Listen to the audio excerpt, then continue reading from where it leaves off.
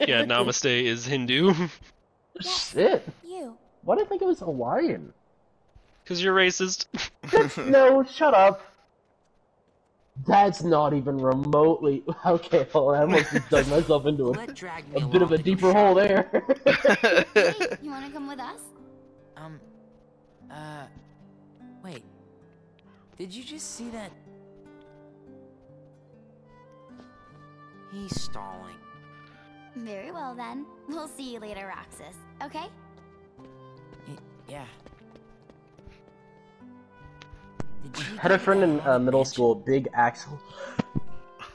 Big ass. Big Axel.